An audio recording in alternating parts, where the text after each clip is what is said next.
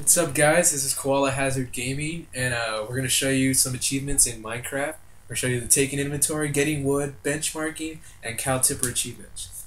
And um, they're like pretty much the easiest uh, achievements to get in this game. So uh, I'm going to run through them really, really quick. And um, I'm going to walk around here and look at myself. Oh, I'm so sexy. And uh, look for, uh, uh, that's how you open uh, your uh, inventory. You press Y, and that's how you get the first achievement all you do is press Y. It's as easy as it can get. Yeah, it's pretty easy. Uh, second one, uh, getting wood. We're gonna knock the fuck out of this piece of wood here, and the tree's just gonna float. And uh, that's how you get the achievement of uh, getting wood. It just floats in the middle of the air. Pretty excited right there. Um, this one is uh, forgot what this one's called, but it will come out right now. Oh yeah, it's crafting.